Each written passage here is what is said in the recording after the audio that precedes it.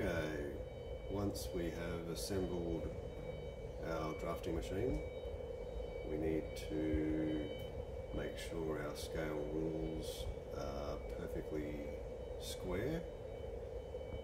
To do that, we need to get a sheet of bond paper and a nice sharp pencil. Um, paper needs to be A2 size at least. Uh, I've this particular occasion got an A1 A1 size piece of paper. Um, we need to make sure our drawing head is roughly halfway down the sheet of paper that you've got and just on the left hand side. Uh, make sure you've locked the uh, drawing head on the vertical bar.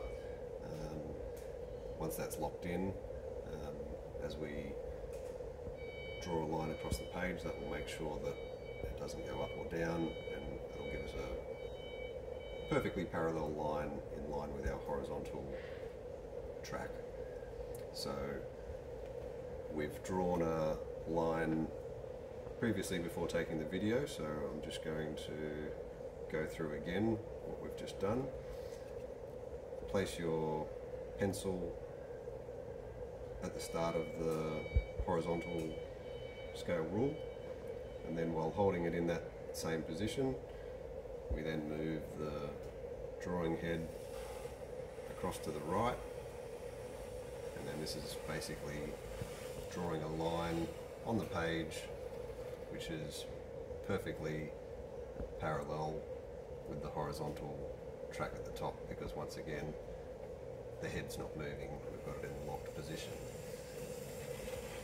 So when you bring it back you'll probably find I've exaggerated this to make it look worse and easier to see on the video but when you're eyeballing the installation of the scale rules out of the box chances are they're not going to be perfectly square or parallel.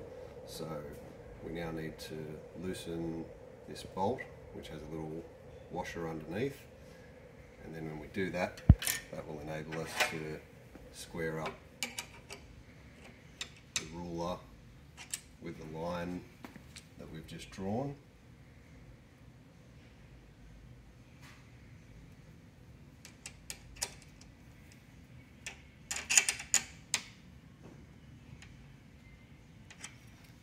and now we need to do the same again on the shorter scale rule.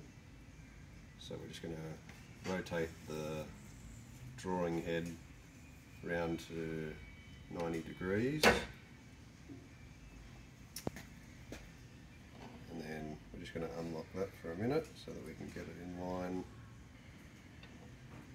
with our pencil pencil line that we've just drawn and then we're once again just going to loosen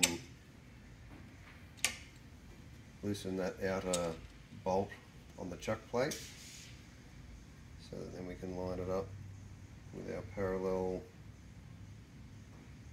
parallel line that we've just drawn. Tighten that back up again. And then now we'll set the drawing head back to zero degrees. And then now we should have perfectly square scale rules.